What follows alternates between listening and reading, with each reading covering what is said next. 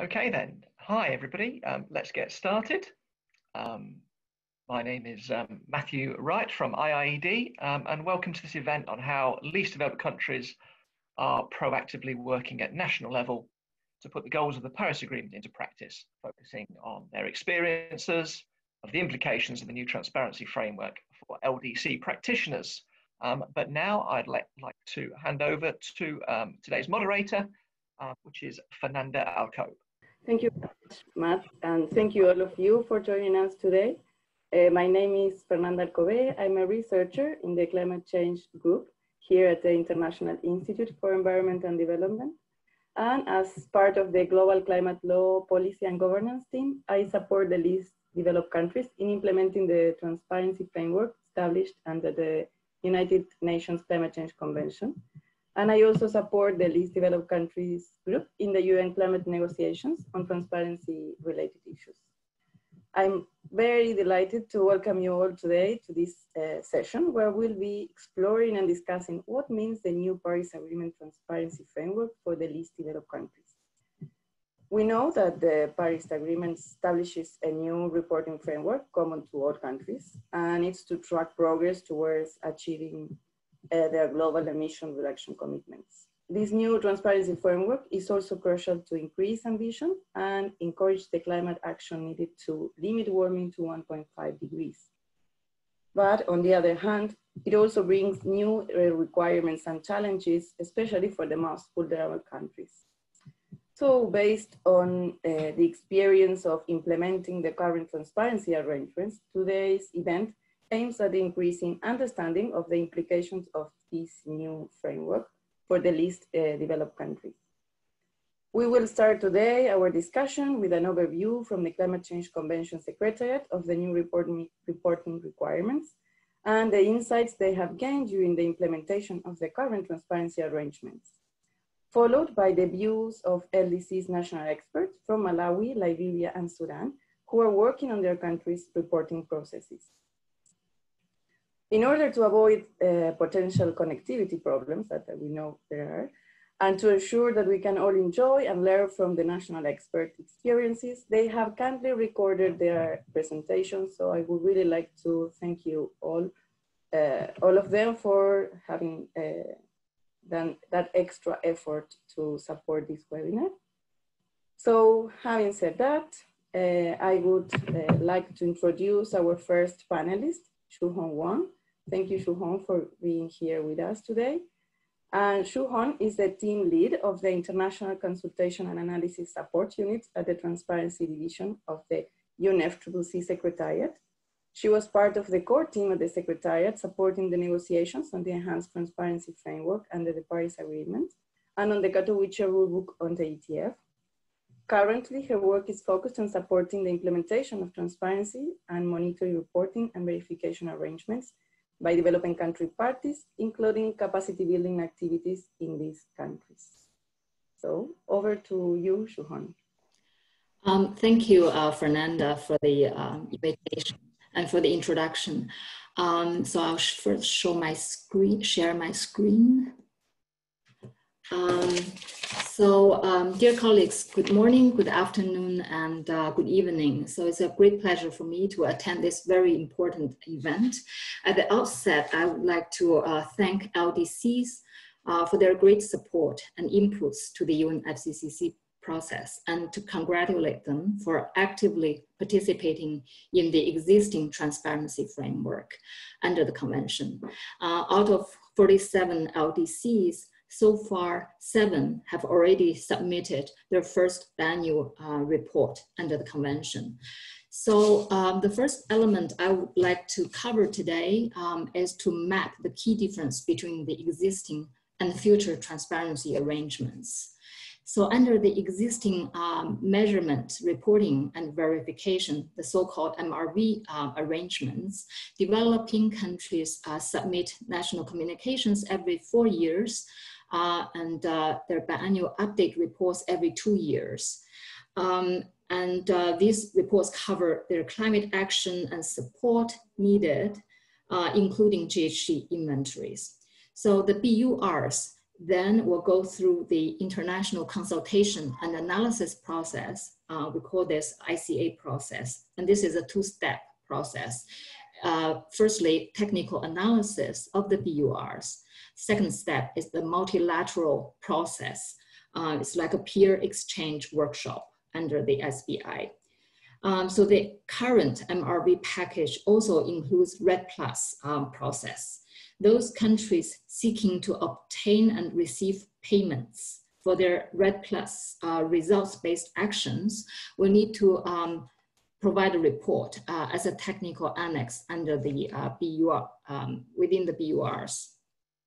So looking at the uh, new enhanced transparency framework under the Paris Agreement, we can see that uh, uh, structurally they are similar uh, to the existing MRV framework. It starts with reporting with the submission of BTR, biennial, new biennial transparency report. And then this report will be reviewed by technical expert teams and then go through a multilateral uh, process to consider the progress. Um, however, the new enhanced transparency framework introduces enhanced reporting in terms of the scope uh, uh, and the level of details, uh, including uh, more um, higher, uh, more advanced methodologies um, in reporting the information. For instance, the tracking progress of NDCs is a new element. And then the use of uh, 2006 IPCC guidelines compared to uh, the use of 1996 IPCC guidelines. And these changes imply that countries will need more uh, robust institutional arrangements and, and higher degree of capacities. It's important to note that countries can provide information on adaptation and loss and damage in the new annual transparency report. And this element is really key to, um, this, uh, to LDCs. So uh, looking at the timeline, uh, the first annual transparency report under the Paris Agreement will be submitted no later than the end of 2024. And then this will replace the current annual update reports under the convention. Um, and recognizing that countries have different starting points and varying degree of capacities, uh, the ETF has built in flexibility to facilitate improved reporting over time. Due to their special circumstances, LDCs and SIDS may submit BTR at their discretion. Um, so now the second element I would like to cover in this presentation is to uh, share with you the, the challenges faced by LDCs in implementing the existing transparency arrangements. There are two main challenges. The first one is the uh, lack of well-established and sustainable arrange institutional arrangements for reporting. In many cases, um, preparation of these reports are project-based, um, very often prepared by consultants. And this could increase the workload to collect and analyze data each time uh, when reporting has to be done. The second key uh, challenge is the lack of clear understanding um, of different reporting requirements and their possible linkages. In this regard, uh, I'm happy to let you know that the Secretariat is making constant efforts to assist parties. For example, the LDC expert group with the support of the Secretariat, is developing a training for LDCs on the Paris Agreement. The objective of the training is to support LDCs on how to efficiently and effectively navigate the many uh, reporting elements uh, of the uh, many elements of the Paris Agreement. We expect to roll this out from September and it will be an online um, course. Um, the third element I would like to cover today is the briefly talk about the benefits uh, of reporting, of the reporting process. As you can see, there are many, many uh, benefits, but here I think I would like to just emphasize three. The first one is to is um, the reporting actually uh, the data and information generated through the reporting process uh, really facilitate po policy making at the national level. Um, the second uh, key benefit is uh, various reports provide solid evidence for specific gaps and needs uh, of the parties, of the countries, uh, which in turn informs more targeted support provided to, to these countries. For example, uh, the NAP is the main reference for accessing support, especially the funding from GCF. The third key element is this reporting process really is a trigger to help um, the establishment with the domestic system, institutional arrangements. So in the longer term, it, helps build the internal capacity of the countries um, to, to, to adapt to this constant reporting in the future. The last element, finally, I, I would like to uh, mention um, that um, what LDCs can do actually during this transition period. So as mentioned earlier, the, the ICA process, international consultation uh, process for developing countries under the convention is the existing MRV. And uh, so far we have um, seven uh, LDCs already uh, submitted their reports. And then these reports will be analyzed by a team of uh, technical experts. And that process itself is a capacity building process for, for countries.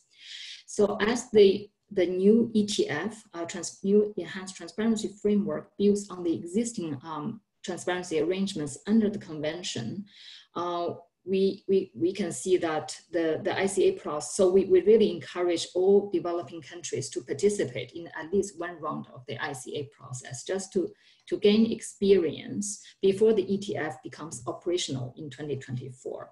So the existing uh, MRV process provide uh, an essential learning opportunity for countries uh, in the following main aspects. It, first, it helps countries to better understand the reporting requirements and improve the, the clarity of information reported.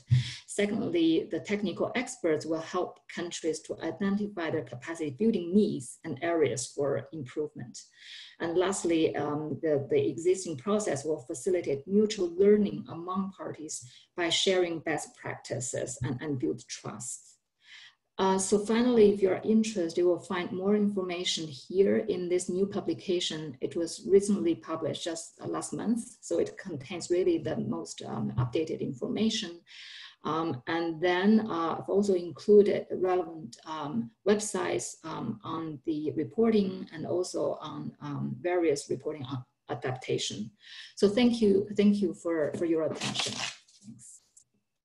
Thank you, Xuehong, for this uh, comprehensive presentation that set us the scene for the next presentations on reporting experiences from the country's perspectives. So, and to all our audience, please feel free to share with us your questions for Xuehong in the Q&A box that is at the bottom of the screen. So now our next uh, speaker, our next speaker is Rehab Ahmed Hassan, uh, who is going to present the reporting experience of Sudan. Rehab is a coordinator for Sudan's third national communication and member of the Higher Council for Environment and uh, Natural Resources. As the rest of uh, the country specialists, Rehab has an extensive experience in the UNFCCC reporting process. Unfortunately, due to some technical difficulties, Rehab could not join us uh, via the Zoom platform today, but she will be answering your questions in written and we will be sharing her answers with you during the Q&A session. So to help us coordinate this, I do encourage you uh, to submit your questions to Rehab as soon as you can. So now we are going to listen to Rehab's presentation. Good morning to you all. Let me at the outset express my gratitude to the IIED for offering me this opportunity to share with you Sudan's experience in reporting under the UNFCCC and Paris Agreement. Uh, well, uh, Sudan participated in the United Nations Conference on Environment and Development, which is also known as RIO Summit in 1992, and was among the first countries that signed the UNFCCC in 1992 and ratified it in 1994. Uh, Sudan had also signed Kyoto Protocol in 1997. Uh, we had also signed the newly adopted Paris uh, Agreement in 2016.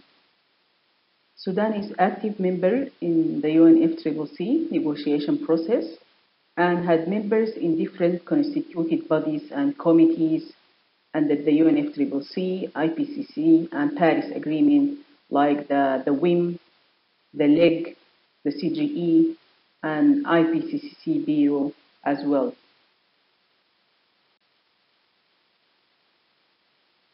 Uh, Sudan is very committed towards the compliance with the UNFCCC.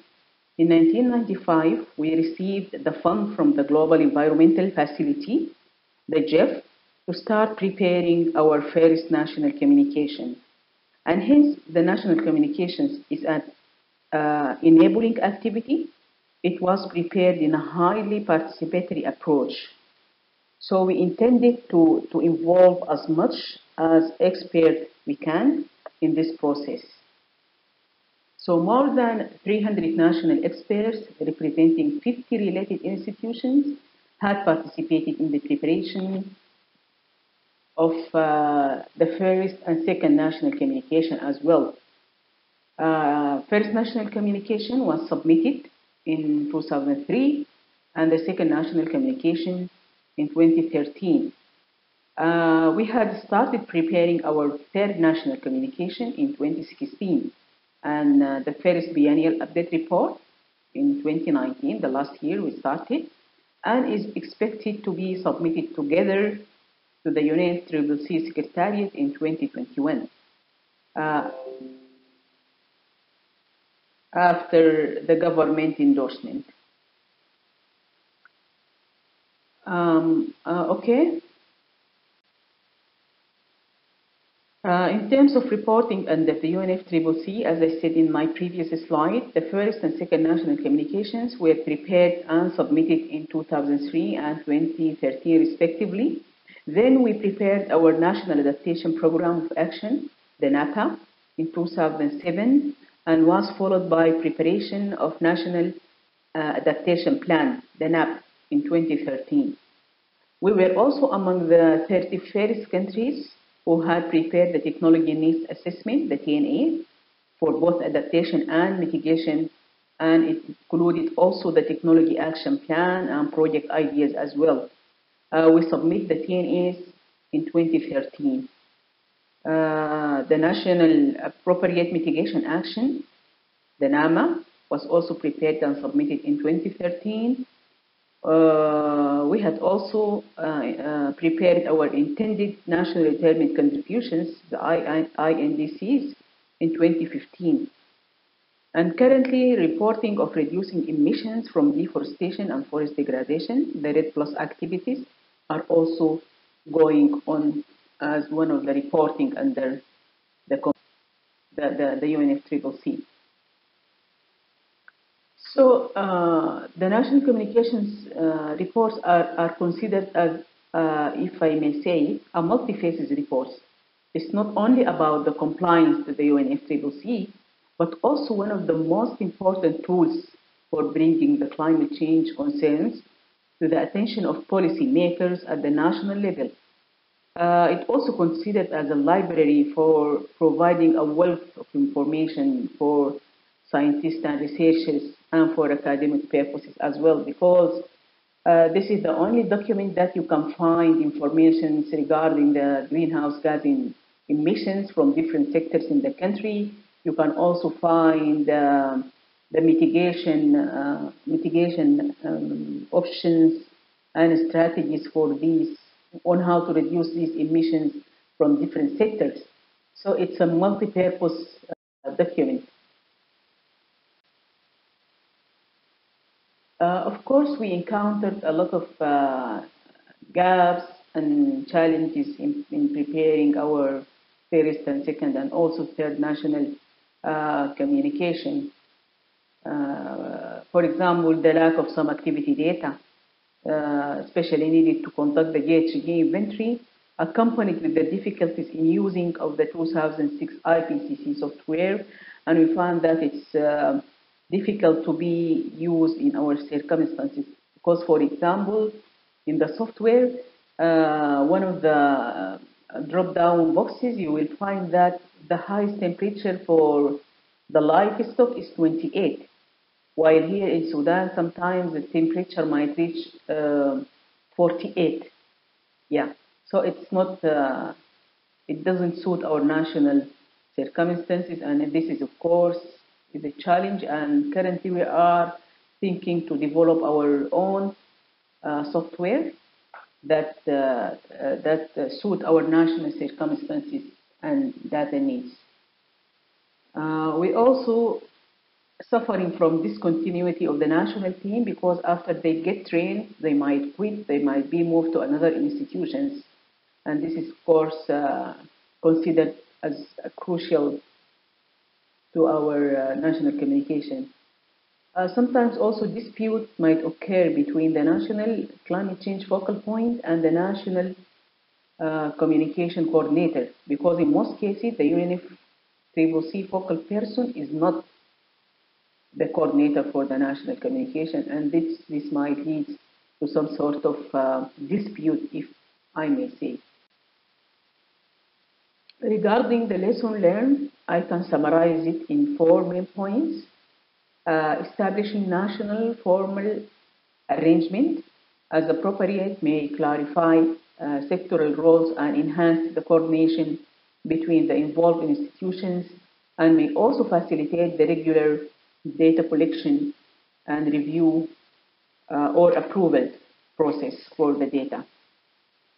Uh, choosing and manipulating an appropriate national greenhouse gas inventory coordinating body, and of course the location within the government of the national GHG inventory coordinating body is a key factor influencing the effectiveness of institutional arrangement and in particular the strength of its mandate and ability to conduct interministerial coordination. Uh, the third point is the stakeholder involvement. Uh, engaging a broad range of stakeholders is very important for the process. It is important that clear roles, responsibilities, schedules, and outputs are defined early to ensure uh, multi-stakeholder process produce effective results and provide necessary inputs to compile the inventory and support other analysis in the report. And throughout our preparation of national communications, we had engaged many government institutions, non-governmental organizations, academic institutions, research centers, and even the private sector uh, to access the expertise, facilitate data collection of relevant information, and build capacities and raise awareness of reporting activities beyond the government entities. As I said in my previous slide, uh, more than 50 different institutions were involved uh, in, the, in the preparation of national communication reports. And the last point is the in-country institutional and technical capacity building. And some developing countries, as uh, you're all aware, have often relied on consultants and external experts to assist them in preparing inventories. And this can hinder the institutional knowledge and capacity gains, of course. We had managed to develop our national capacity, which helps to avoid reliance on external expertise, uh, improve uh, institutional, uh, thereby enhancing the country ownership of the process.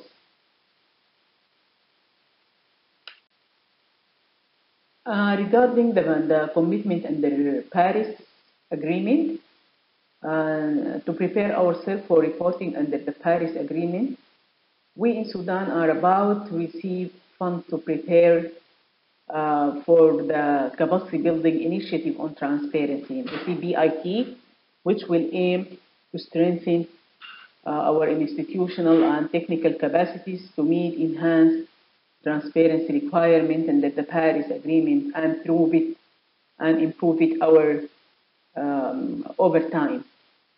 Uh, the CBIT project will be considered as an opportunity to provide relevant tools, training, and assistance for meeting the provisions of the Enhanced Trans Transparency Framework of Article 13. Uh, the expected output of the CBIT process uh, will be developing an institutional arrangement for climate transparency, uh, achieving public awareness and capacity building of national experts, um, enhancing the greenhouse gas inventories and mitigation options, and development of robust domestic MRV and uh, monitoring and evaluation systems as well. And finally, achieving progress on tracking the NDC implementation and transparency. And as you know, the NDC is um, the core theme of, uh, of Paris Agreement. And uh, by saying this, I have reached to the end of uh, my presentation, and I will remain for further questions and inquiries. And thank you so much for your kind attention. Thank you, thank you so much, Reha, for uh, your solid presentation. And I would really like to remind you to send your questions to Rehab, that she is online with us. Uh, and uh, she will be answering uh, your questions in written. So if you can send uh, them as soon as possible, so that could be perfect. And now, as we have a very tight agenda today, we are quickly moving to our next panelist, Charles Asumana from Liberia. Charles is the National Project Coordinator of Liberia's first biannual update report project. He is responsible for overseeing the project implementation, including the provision of technical assistance to the national technical expert groups. And Charles is also a technical expert reviewer to the UNFCCC. It is a pleasure for me and my team from Liberia to participate in this webinar. And I would like to thank the organizer for giving us this opportunity. This presentation seeks to provide response to the theme question of this webinar. What does the Paris Agreement's transparency framework mean for Liberia as a least developed country? As seen in the outline, I'll try to share our national reporting experience under the convention, explain where we are at the moment in terms of our national communication and biannual update report, present our vulnerabilities as key motivations from our national perspective, as well as outline challenges, outcomes, and lessons learned. The act of the national legislature that created the EPA of Liberia, among other things, gave the agency the authority to sustainably manage the environment, including climate change. For example, preparing and submitting national communications and biannual update reports. Of course, to adequately execute its mandate, EPA works with government ministries and agencies as well as other infantry stakeholders. In this slide, the structure of climate change governance in Liberia is summarized in an organogram form. As seen, EPA works in consultation with the National Climate Change Steering Committee, which is the overarching institutional structure with the mandate to coordinate and supervise the implementation of climate change policy.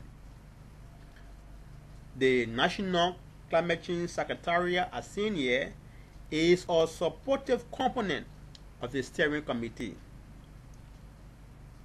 The Ministry of Finance and Development Planning, MOFDP, headed by a minister, chairs the EPA board. As stated, EPA is the designated national authority. So, if you want to conduct greenhouse gas inventory in Liberia, what institutions will you be looking up for? The major ones for the key emission sectors are highlighted in this table in red. For the energy sector, we have the Ministry of Mines and Energy. For the IPPU, the Ministry of Commerce, Waste, City Corporations, Agriculture, the Ministry of Agriculture, And for the forestry and other land use or the FOLU sector, we have the Forestry Development Authority for the forestry subsector and the Liberia Land Authority for the land use subsector. So let's address this question. Where are we with our inventory? Well, Liberia is in the advanced stages of the second national communication and first biennial update report. And hopefully, by October this year, will be submitted to the UNFCCC. As you can see here in paragraph 2, these are the gases covered. For now, perfluorocarbon PFCs and sulfur hexafluoride SF6 are not included. The Tier 1 approach of the 2006 IPCC guidelines is being used. Even though Liberia's contribution to the global greenhouse gas emissions is negligibly low, the impacts of climate change are even more evident in the country over the past few decades, given that the, um, the physical, the financial, the human, and the natural capitals are low to build resilience. There are increased occurrences of flood across the country, as you can see in this slide and the next.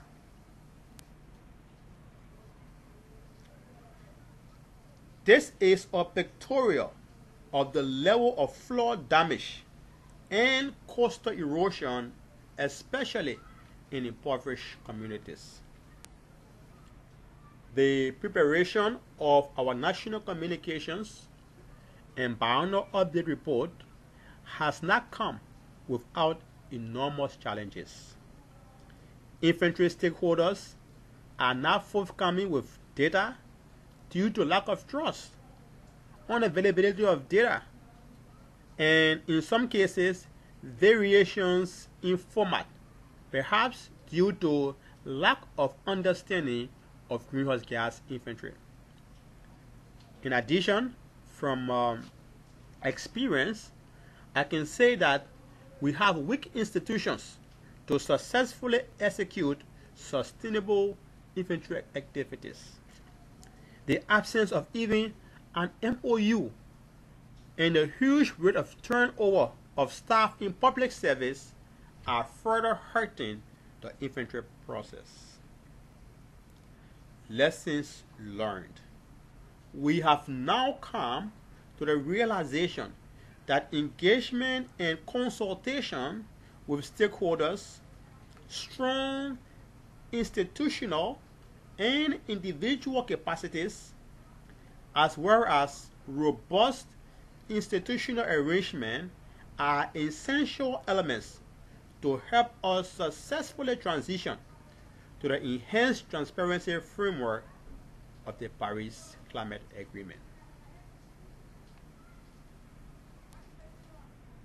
In conclusion, let me hasten to say that Liberia is not fully prepared for the new framework that the Paris Agreement presents.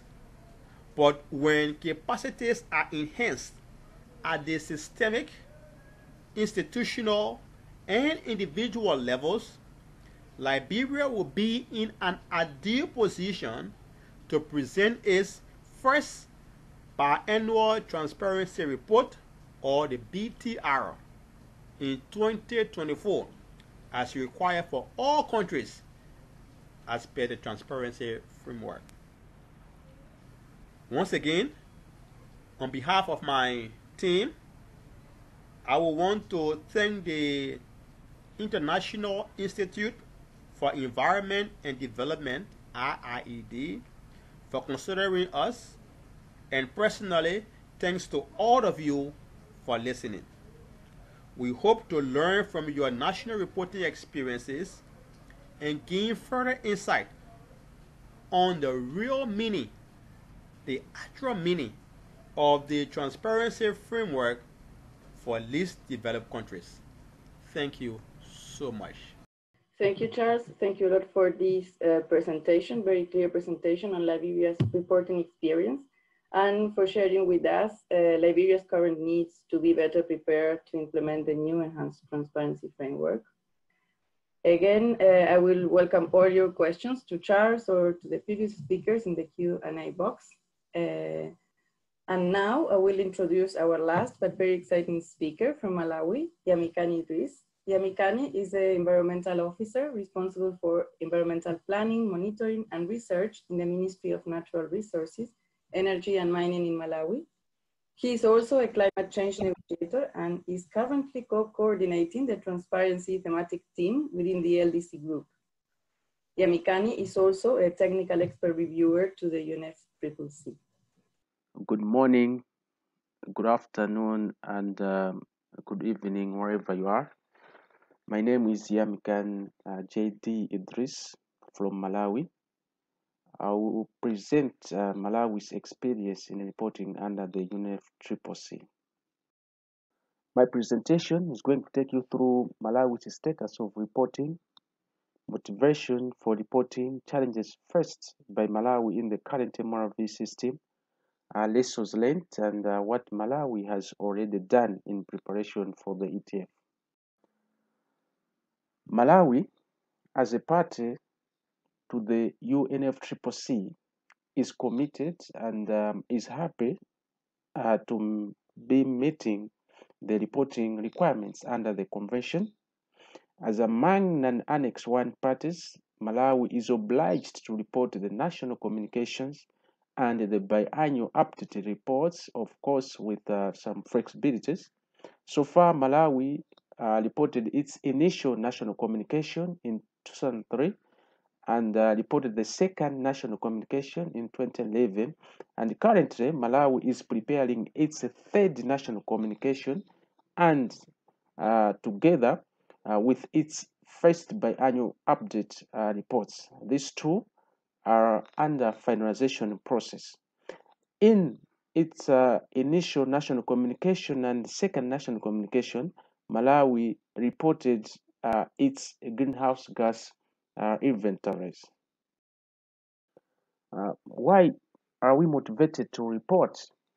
Uh, first and foremost is that um, according to the UNFCCC National Communication and BUR guidelines, uh, we are mandated uh, to report.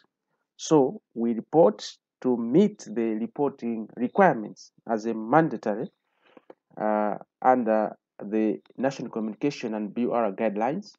Uh, but secondly, uh, which is also very important, uh, Malawi is implementing the National Climate Change Management Policy of 2016 and uh, the National Development Agenda, which is the Malawi Growth and Development Strategy. Uh, we finalized uh, implementing the MGDS 2 and now we're implementing the Malawi Growth and Development Strategy number 3. So this National Development Agenda considered climate change management as among the key priority areas. So reporting is important so that we monitor climate change action at national level, which is in line with these two, and also showcasing our actions to the international community. At the same time, uh, we are able to demonstrate or show our green growth pathway uh, through uh, reporting. Despite being committed and registering uh, progress in reporting on climate change action, Malawi is still facing a lot of challenges.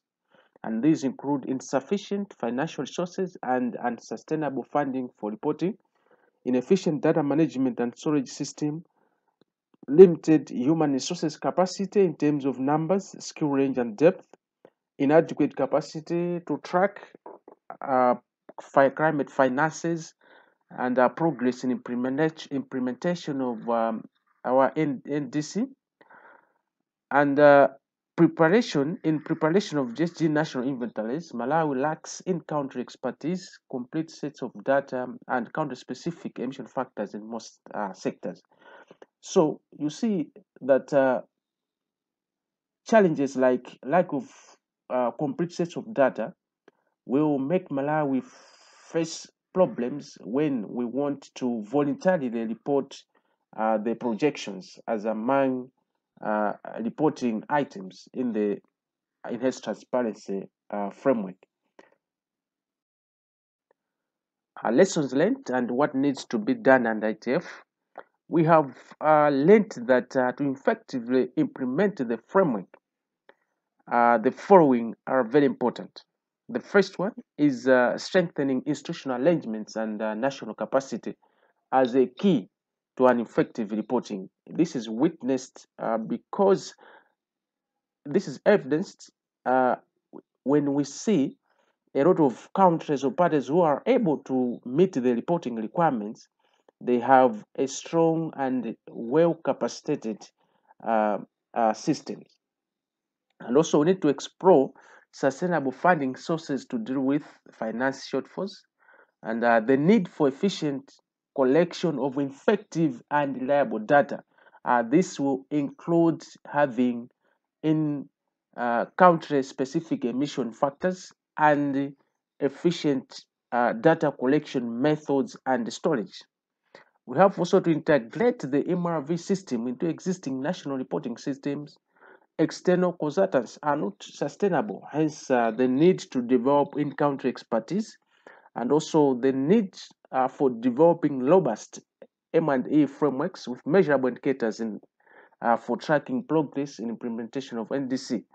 So Malawi took it as an opportunity uh, by responding the call to update the NDC.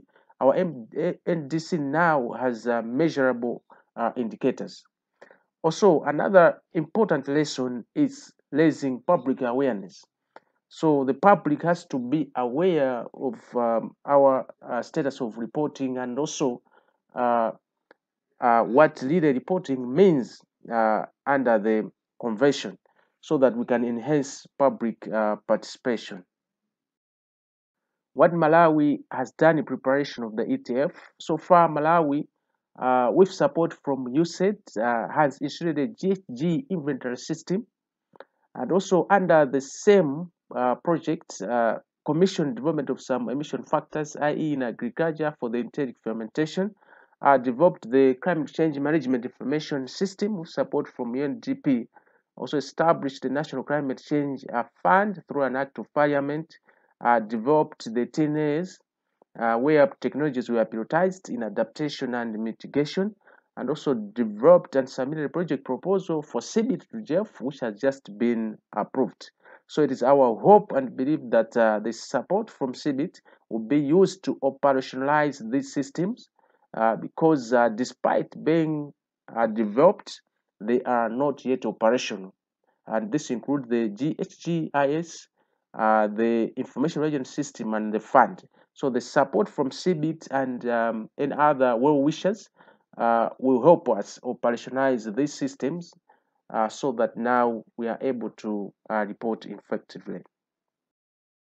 Uh, thank you for your attention. Uh, I wish you all the best. Thank you, Yamikani. Thank you a lot for your presentation. And now we welcome all your questions to Yamikani uh, through the, the Q&A box. And we are on time and we have some minutes to answer uh, some of your questions and have the discussion with the, the speakers. So I will uh, start with the first question for uh, Xuehong. Shu Hon, uh, someone asked you how will the IETF uh, reporting happened uh, in 2024 when DLDC still received project-based support as per the current financial mechanism, especially the GCF, um, uh, that is also uh, still also consultant-led. Um, so thank you very much. Uh, this is a very good question, a very challenging question as well. Uh, indeed, right now uh, for the G GEF, uh, Global Environment Facility, when they support uh, the preparation of uh, NC and, and BURs, um, they are basically project-based. Um, but then um, this, this money are considered as kind of seed money. So the aim really is to trigger uh, a process at the national level um, to, to really to start establish, put, a, put in place institutional arrangements um, at the national level.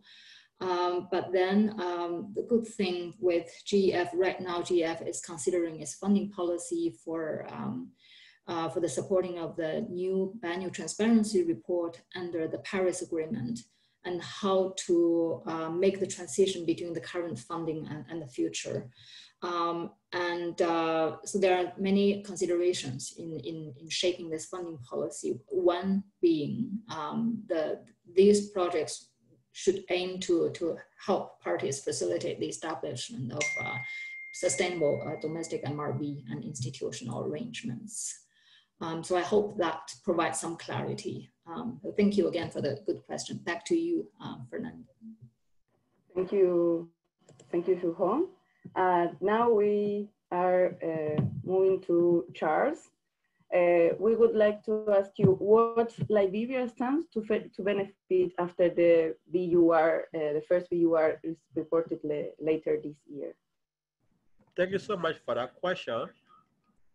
Liberia is a party of the UNFCCC. And as a party, there are reporting requirements that we must fulfill. One of such is uh, the biennial update report to be submitted once every two years. So once it's submitted, it means that we have fulfilled our reporting requirement we have enhanced our national reporting performance. And that means a lot. For example, in climate change negotiation dynamics, in my opinion, is is money for action. So a proposal in a position where we, we can make a strong case, you know, to, to enhance our ability both locally and internationally. Thank you very much. Thank you. Thank you, Charles. Thank you for your answer. And now we have a, um, a question for uh, Yamikani. Um, uh, there a question, the chair a question, if you can answer, it's what kind of domestic legislation is helpful is helpful to strengthen national reporting arrangements? So over to you, Yamikani. Yeah, thank you, Fernanda, and our uh, viewers over the world. But the question which um, I would like to answer is that uh, what kind of domestic legislation uh, is helpful to strengthen national uh, reporting arrangement? I think um, on this one, uh, we rely most on the MOUs. So we really need to uh, strengthen these MOUs through developing domestic legislation. for instance, um, for us to strengthen uh, the national reporting arrangement in terms of finance, we have uh, taken the approach of creating the uh, National Climate Change Fund. So this has been gazetted through an act of parliament so that all the funds are going to be going into one basket. So I think we need to sit down and think of how we can uh, now uh, domesticate uh, these other uh, reporting requirements so that we can now produce the registration uh, to enhance the MOUs, uh, which are quite uh, most used currently. Thank you so much for your answer. And now we have another question for uh, Xuehong. And um, this, uh, the question is related to the technical, the technical assistance and finance. And it says that it seems that most support is through technical assistance. So if there's long is long-term finance available for continued production of the ETFs and the national communications. So I think that for the biennial transparency reports and the national communications. Uh, thank you for, for the question. Actually, right now, uh, as you as you know, as you may know, under the Paris Agreement, there is this uh, funding, um, this uh, mechanism in place, which is called Capacity Building Initiative for Transparency. Um, and then it supports uh, uh, um, a, number of projects um, to support parties uh, with their transparency uh, fulfillment of transparency um, reporting under transparency. Um, so th this this is really uh, this is established under the Paris Agreement. So in the long run, this will be um, dedicated uh, mechanism to support this activity. Um, and uh, another um, uh, reflections I would like to share is that um, right now um, there are various um, supports uh, being provided by various organizations and technical institutions. Um, there seems to be a need for, for, for, for, these organizations to work together to, you know, to, to avoid, to avoid duplication and try to build more synergy in terms of providing support to developing country parties. So this is another um, uh, reflection that I would like to share um, using this opportunity. Um, thank you. Back to you, Fernanda. Thank you, Xuehong. We have other questions also related to, to the support for least developed countries that I think that uh, I understand that can be uh, have been answered with your uh, answer. And um, and now we have some um, some uh, questions uh, from uh, Rehab, and we are going to try to put those, some answers on uh, now online. And um, we, uh, Matt is going to help us just to uh, receive the answer from Rehab. And the question was, the question that were made was to avoid discontinuity, what are the plans to maintain the national team? So the national team, the, the group of experts at national level um, to, to continue the reporting process in Sudan. So uh, for Lewis, he was asking uh, how can we maintain the continuity of our national team? Uh, actually, this is uh, a little bit difficult in my country because as, as I said before, um, the displacement of people or sometimes they have uh, been moved to another institutions. But what we did, we managed to create uh, uh, greenhouse gas inventory units in 10 relevant institutions through a memorandum of understanding and we we um, we provide them with computers and printers uh, because we want them to save the data, the activity data for the greenhouse gas inventory in this desktop.